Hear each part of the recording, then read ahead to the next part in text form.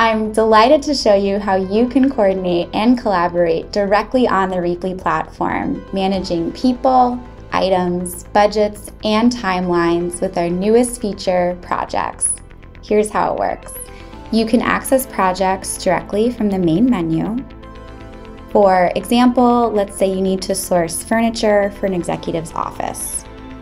We can name this project Gary's Office. You can add a description of the project, which will allow other teammates you're working with to understand what this project is. You can even include links to your internal ticketing system or documents with more information. Then select a project manager. This is the person who can make an offer on the items that are in the project. Other users who are not project managers can add items to your project, but only a project manager can make offers on items associated with a project.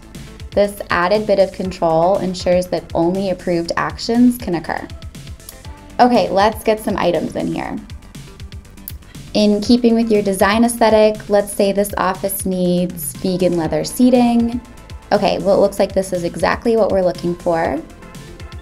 Once I click into this listing, I need to select from an available condition, choose the quantity that I need, and then click the Add to Project button.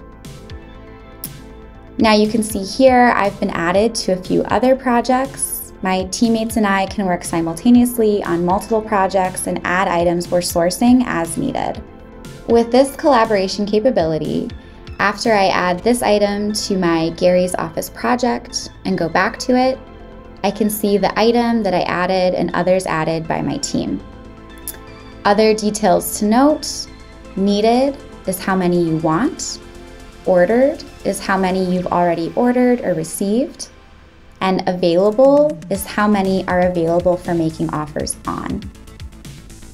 As the project manager for Gary's office, I can pop over to the wish list and make offers on the items that my team added for me.